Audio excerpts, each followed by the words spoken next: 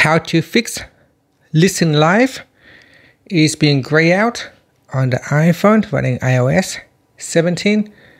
So you can see here, Listen Live is disabled and I cannot use it. So there are several things that can cause uh, Listen Live uh, to disabled. So what you want to do is first make sure your iPhone connected to a compatible uh, headphones.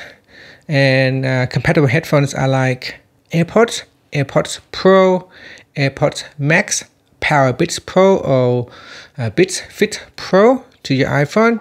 If you try to connect it to your um, Galaxy Buds Pro or the Samsung headphones or another brand, it, uh, if it's not compa uh, compatible, it will not work. So try to uh, connect your phone to a compatible headset.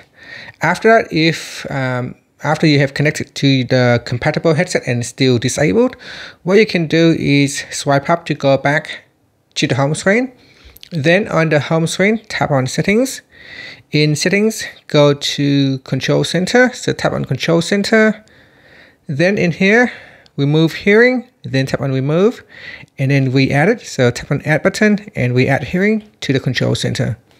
After that, swipe down and then tap on hearing and see if listen live is enabled. If it is still disabled, you can try to force restart your device. So here you can press and hold on the side button and the volume key, either volume up or volume down. So just first try to restart the device and allow the phone to boot up again.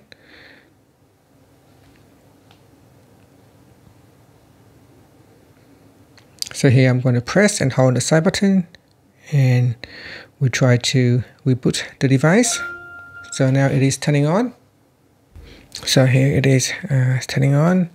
You can swipe down and tap on listen live, uh, tap on the control center in hearing.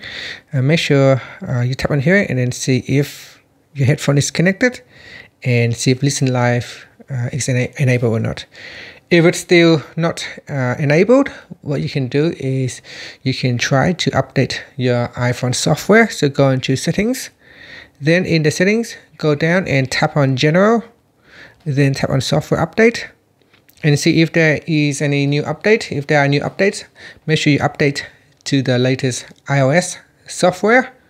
Uh, one of the main reasons that it is disabled is because uh, it is not connected to a compatible headphone. So you really need to double check to make sure the headphones you are connecting to is compatible with uh, your iPhone. And that's it. So hopefully one of those uh, solutions can help you fix uh, the Listen Live uh, feature on your iPhone. Thank you for watching this video. Please like and subscribe to my channel for more videos.